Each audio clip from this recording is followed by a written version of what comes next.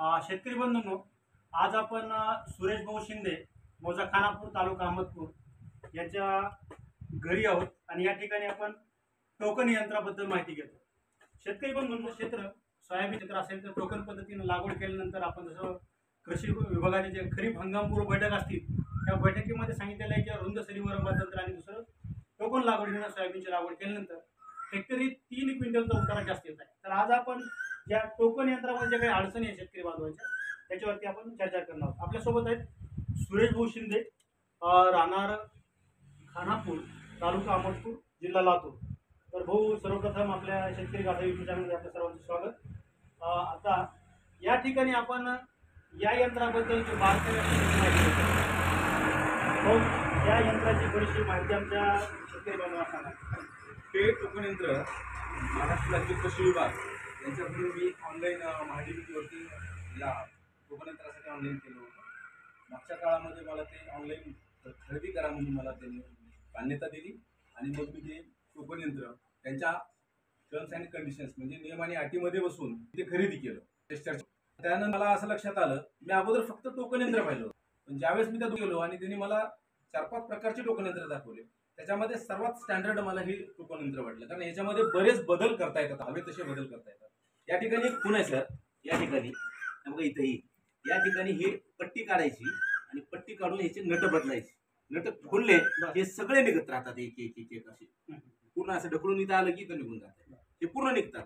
त्यानंतर त्याच्यामध्ये आपल्याला आता हा जो गॅप आहे दोन ह्याच्यामधला चिमट्यामधला जो गॅप आहे तो पाच इंचाचा आहे. बरं. हा पाच इंचाचा गॅप जर आपल्याला सहा इंचाचा करायचा असेल तर एक इंचाची पट्टी यामध्ये प्रत्येक एकामध्ये एक पट्टी ऍड करत चालायची.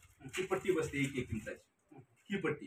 ही पट्टी क- सम- हो सर तर शेतकरी बंधूंनो बऱ्याचदा आपलं सोयाबीन टोकन करत असताना कुठल्याही पिकामध्ये जे अंतर जे आहे दोन रोपातलं अंतर ह्याचं ऍडजस्टमेंट करणं खूप गरजेचं आहे. किती? तर ते प्रत्येक शेतकऱ्याला असं वाटतं किंवा सहा ते नऊ इंच सोयाबीनमध्ये दोन रोपातलं अंतर असावं. आणि बऱ्याच टोकन यंत्रामध्ये ते अंतर जे आहे तर ते कायम एकच ठेवता येतं हे करता येत नाही तर कमी जास्त करता आपल्याला येत काही शेतकऱ्याला सात इंचावर करायचं असेल आठ इंचावर करायचं असेल किंवा नऊ इंचावर करायचं असेल तर याच्याबद्दल आपण बघून माहिती करू. नाही. त्याच्यामध्ये ह्या टोकन यंत्रासोबत एक इंच दोन इंच तीन इंच आणि चार इंच असे चार प्रकारच्या प्लेट आलेल्या आहेत.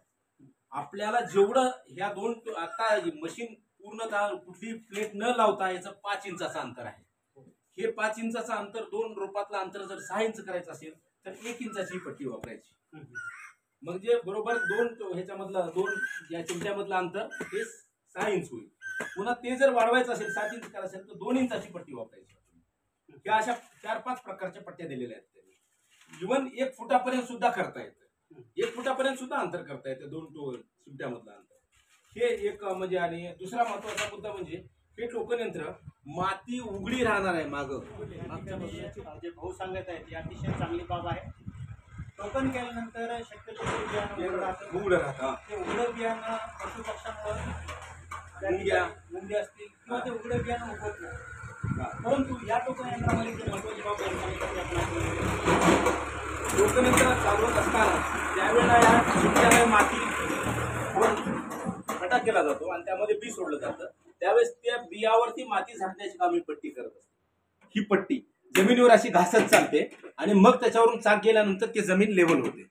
त्यामुळं काय होतं की पाऊस जरी चार आठ दिवस नाही पडला आपलं टोकन यंत्र पेरल्यानंतर तरी तो पाऊस न पडला तरी आपलं उजर्मिनेशनवर त्याचा उगवणीवर त्याचा परिणाम होत नाही. उगवण चांगली मिळते आपल्याला. गॅप खंड होत नाहीत मध्ये. रोपामधले खंड कमी होतात. म्हणून या टोकन यंत्राची मी निवड केली केली. आणि शेतकरी बंधूंना या ठिकाणी तुम्ही महाडीबीटी पोर्टलवर जाऊन टोकन यंत्रासाठी ऑनलाईन अर्ज करू शकता. महाडीबीटीची वेबसाईट वरती तुम्ही सी एस सी केंद्रावर जाऊन तुम्ही अर्ज भरू शकता आणि अर्ज भरल्यानंतर याची प्रक्रिया जशी आहे तर हे कॉम्प्युटराईज लकी ड्रॉ पद्धतीनं याची निवड होईल आणि निवड झाल्यानंतर तुम्हाला हा अर्ज तुमची निवड झाल्यानंतर तुम्हाला एक मॅसेज येईल. मॅसेज आल्यानंतर तुम्हाला कागदपत्र जे असतील तर ते कागदपत्र अपलोड करायचे आहेत. कागदपत्र अपलोड केल्यानंतर ते अवजार म्हणजे इतर खरेदी करून त्यासोबत आपल्याला इन्व्हॉइस असेल ॲप्लिकेशन वगैरे असेल बिल असेल तर हे तुम्हाला अपलोड करायचे आहे त्याच्यानंतर मोकाचा प्रश्न घेऊन त्याच्यानंतर त्याचा अंदाज वितरित केला जाईल तर या ठिकाणी आपण आज अत्यंत चांगली माहिती सुरेश शरण शिंदे अ, राणा खानापूर यांच्याकडून आपल्याला या टोकन संदर्भात मिळालेली आहे. तर अशा पद्धतीने जास्तीत जास्त सोयाबीनची लागवड आपण टोकन पद्धतीने यावर्षी करूया. जय महाराष्ट्र. जय महाराष्ट्र.